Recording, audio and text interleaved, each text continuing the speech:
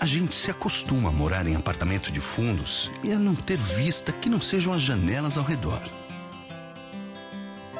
E porque não tem vista, logo se acostuma a não olhar para fora. E porque não olha para fora, logo se acostuma a não abrir de todo as cortinas.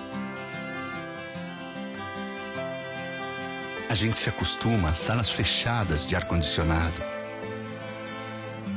a luz artificial, a tomar café correndo porque está atrasado,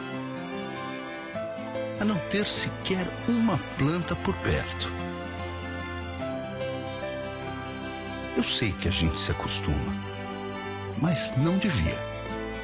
Aproveite mais a vida. Do aluguel de carro, deixa que a gente cuida. Unidas. É como tem que ser.